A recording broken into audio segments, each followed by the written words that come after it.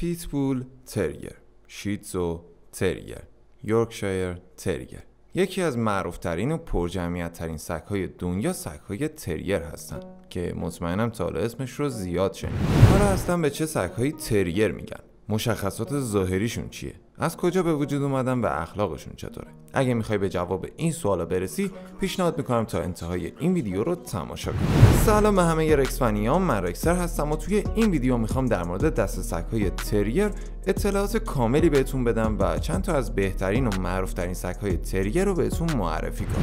فقط قبل از شروع ویدیو خیلی خوشحالم می‌کنید برای حمایت از من این ویدیو رو لایک کنید channel رو subscribe کنید و اون زنگوله بغلش رو هم بزنید. حاشیه نمیرم بریم سراغ معرفی. زمانی که اسم سگ تریر به گوش ما می‌خوره یاد یه سگ عروسکی و سفید رنگ میافتیم. ولی در واقع تریر اصلا و ابدا نام یک نژاد سگ نیست. البته خیلی از ما به cross ها یا میکس های نژاد دیگه که پوشش سفید رنگ و ظاهری عروسکی دارن سگ تریر میگیم. البته به اشتباه. اما حقیقت اینه که سگ های تریر گونه ای از سگ ها هستن که شامل چندین و چند نژاد میشن. درست مثل سگهای اشویز این گونه از سگها حدود دو قرن پیش توی انگلیس پرورش داده می شدن تا کمک دست مزرعه دارها باشن و توی شکار موش و گورکن به صاحب مزرعه کمک کنند خصوصیات رفتاری.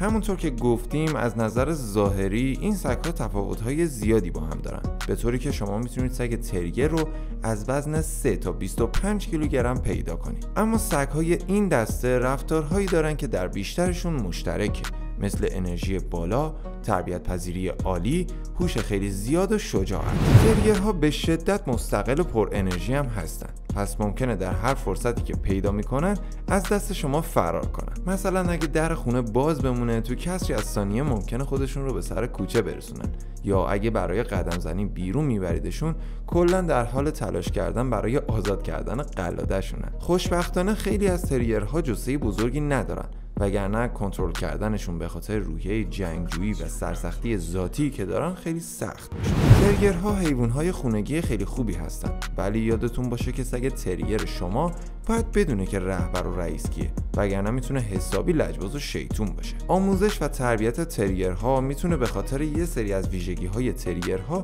چالش برانگیز باشه.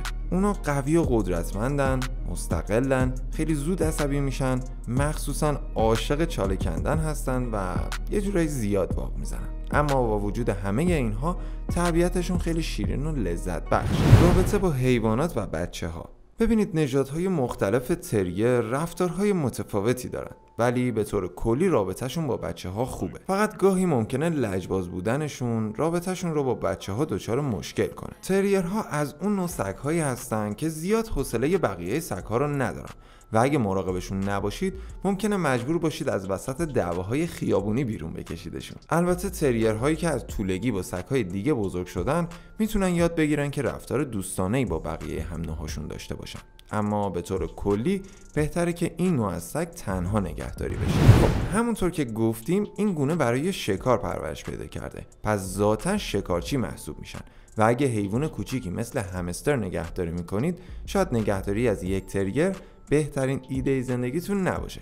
و سگهایی از نژاد و گونه های دیگه گزینه بهتری محسوب بشه. حالا که با این دسته از سگها آشنا شدیم بریم سراغ معروف ترین سگهای تریر که توی ایران هم میشه اونها رو پیدا کرد. شماره 5 شیتزو تریر سگ شیتزو تریر از ترکیب شدن دو نژاد شیتزو و تریر به وجود میاد. ترکیب این دو گونه از سگ توی ایران خیلی پرطرفداره. شیتزوها سگهای سلطنتی بودن که تو سلسله مینگ توی چین پرورش پیدا می‌کردن که وفادار، دوست داشتنی و بغلی بودن. ترکیب شدن این ویژگی ها با شیطنت و جسارت تریرها یکی از خاصترین نژادهای سگ رو به وجود آورد. شماره چهار یورکشایر تریر سگ یورکشایر تریر از محبوب ترین نژادها در آمریکا محسوب میشه که به اسم یورکی هم شناخته میشه. علاوه بر شیطنت و سطح انرژی بالا که ویژگی مشترک بین همه تریر هاست نژاد یورکشایر احساساتی و مهربونه.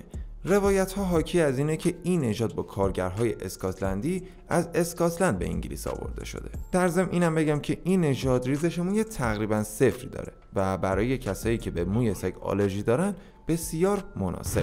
شماره 3 باستن تریر این نژاد ذاتا به عنوان سگ مسابقه پرورش داده می شده ولی با گذشت زمان این نژاد تبدیل به نژادی احساساتی شد که بهترین دوستش صاحبشه. لکه های روی تنش یادآور تاکسیدو یا همون کت شلواره. به خاطر همین این نژاد معروف به جنتلمن آمریکاییه. با زندگی آپارتمان نشینی منطبق میشه با تنها گذاشتن در خونه نسبتا خوب کنار میاد و بی نهایت با بچه ها و سگ های دیگه رابطه خوبی داره. شماره دو. امریکن استافوردشایر تریر این نژاد با توجه به جستش بدن بسیار قدرتمندی داره اما با این حال عاشق خانوادهشه این نژاد هیچ چیزی رو به اندازه وقت گذرانی با صاحبش دوست نداره چه بیرون در حال دویدن یا بازی چه روی مبل و در حال تماشای فیلم. چندان حساس نیست ولی با تنهایی هم میونه خوبی نداره. در کنار نیروی پلیس هم خیلی خوب عمل می‌کنه. شماره یک وست هایلند تریر معروف ترین نژاد تریر توی ایران نژاد وست هایلند تریره که اصالتا مال اسکاتلنده. و یکی از پر اعتماد به نفس ترین نژادها هم محسوب میشه. همیشه دنبال اینی که بهش خوش بگذره و با روش هایی که برای سرگرم کردن خودش اختراع می‌کنه حسابی میخندونتتون این نژاد سرشار از زندگی و انرژیه و همه رو عاشق خودش می‌کنه. البته همه به جز حیوانات کوچیکی مثل همستر. این لیست همینجا به پایان می‌رسه. اما شاید با خودتون بگید که معروف ترین تریر جهان یعنی پیتبول تریر رو چرا معرفی نکردیم اینو بهتون بگم که تو پست های قبلی خیلی راجع به این نژاد صحبت می‌کردیم و یه جوری تکراری می‌شد اگه توی این ویدیو هم وجود داشت. اما اگه دوست دارید این نژاد رو بیشتر بشناسید این بالا ویدیو معرفیشو براتون می‌ذارم. می‌تونید کلیک کنید و تماشا کنید. حالا که بحث پیتبول تریر شد این موضوع رو هم درباره تریرها بگم که به خاطر روحیه جنگ طلبی که این سگها دارن فکر پرورش نژادهایی برای مسابقه های خونین بین سگها پرطرفدار بوده که معمولا از ترکیب تریر با سگ بولداگ به خصوص بولداگ های پاکوتا نژادهایی برای مسابقه به وجود می آوردن امروز مسابقه های خونین بین سگ ها توی خیلی از کشورها غیرقانونی شده و به خاطر غیر انسانی بودنش کمتر طرفدار داره. یادمون باشه که علاوه بر غیر انسانی بودن انداختن سگها به جون هم تا پای مرگ این نژادها با تربیت خاصی که برای مبارزه میشن می‌تونن برای انسانها هم خطرناک باشن و شهرت سگها رو به طور کلی زیر سوال ببرن خب دمتون گرم که تا این ویدیو رو تماشا کردید. امیدوارم که از تماشای این ویدیو لذت کافی رو برده باشید و من هم تونسته باشم اطلاعات مفیدی رو از دسته سگهای تریر بهتون داده باشم. در آخر درخواستی که ازتون دارم اینه که توی کامنت حتما برامون بنویسید. ویدیو بعدی در مورد چه موضوعی باشه یا راجع به چه سگها و حیواناتی بیشتر صحبت کنیم. حتما نظرتون رو کامنت کنید. like subscribe فراموش نشه و همین دیگه. دمتون گرم. خیلی مخلصم.